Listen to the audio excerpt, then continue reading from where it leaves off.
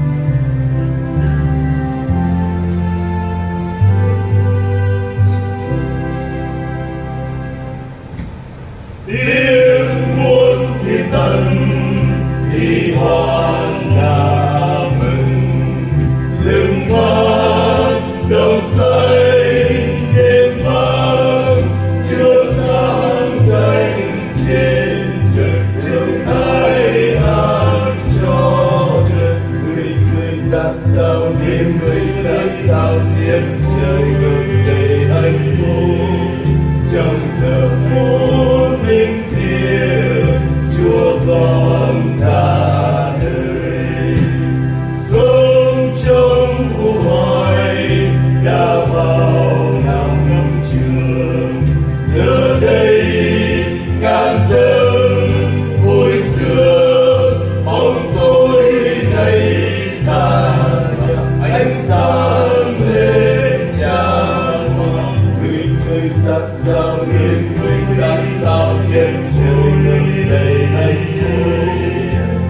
trong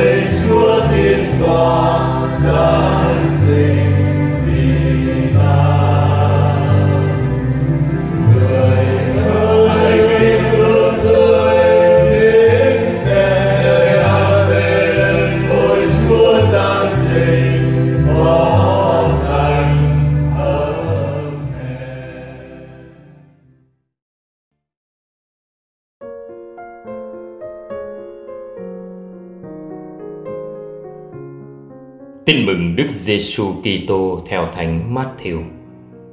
Khi ấy, Đức Giêsu nói với các môn đệ rằng: Hãy coi chừng người đời. Họ sẽ nộp anh em cho các hội đồng và sẽ đánh đập anh em trong các hội đường của họ.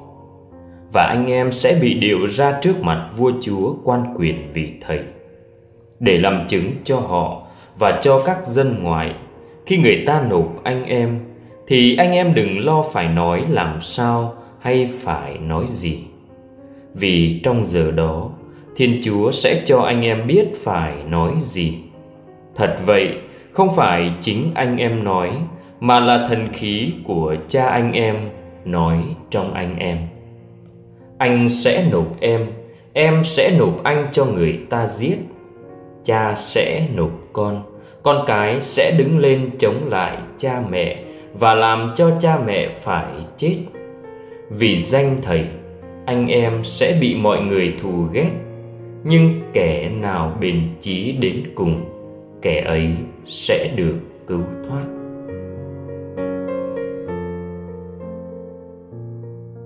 Ngày nay, mỗi khi phải đứng trước đám đông hay khi cần bảo vệ quyền lợi chính đáng của mình người ta thường chuẩn bị rất kỹ lưỡng. Tôi cần phải nói gì và nói sao cho thuyết phục nhất?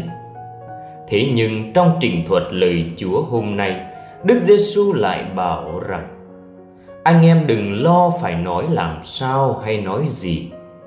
Lời khuyên đó có ý nghĩa gì? Khi bị bắt bớ vì sự thật, khi bị hàm oan và khi chân lý nằm trong chính bản thân mình, chúng ta không cần suy nghĩ phải nói gì, vì những sự thật là điều chính chúng ta biết rõ ràng và phân minh nhất. Thế nhưng vì sợ hãi, vì bảo vệ quyền lợi cá nhân, đôi khi chúng ta chơi những trò chơi ngôn ngữ. Một là đổi trắng thay đen, hai là nói những điều mơ hồ lấp lửng. Ba là chỉ nói một nửa sự thật. Đức Giêsu khi đứng trước tòa án của Phi-la-tô không một lời bào chữa, nói thẳng thắn và làm chứng cho sự thật toàn vẹn. Chính vì thế, Ngài nói lời của thần khí, vì thần khí là sự thật, là sự sáng, là chính những điều Ngài biết rõ ràng, là đúng và chấp nhận hậu quả của nó là cái chết. Chân lý đòi hỏi một cái giá không hề nhỏ cho những ai yêu mến nó. Cuộc sống nhân loại hôm nay, mấy ai dám làm chứng và làm chứng cho chân lý? Ngay cả những người nắm giữ cán cân công lý cũng tìm cách bóp méo sự thật. Khái niệm mơ hồ nhất đối với cuộc sống con người hôm nay đó là chân lý với câu hỏi bất hủ của phi la tô sự thật là gì? Đó là lời của thần khí hay là cái lý của kẻ mạnh bao giờ cũng thắng? Chúng ta, những người Kitô hữu là những người làm chứng cho sự thật, bất chấp hậu quả của nó. Thánh Stefano, vị tử đạo tiên khởi, được mừng kính hôm nay là chứng nhân sống động cho mỗi người nhìn ngắm, suy ngẫm và học hỏi. Lạy chúa, xin ban thánh thần của chúa đồng hành và soi sáng cho mỗi người chúng con, để chúng con biết nói sự thật, tôn trọng sự thật và làm chứng cho sự thật bằng mọi giá. Amen.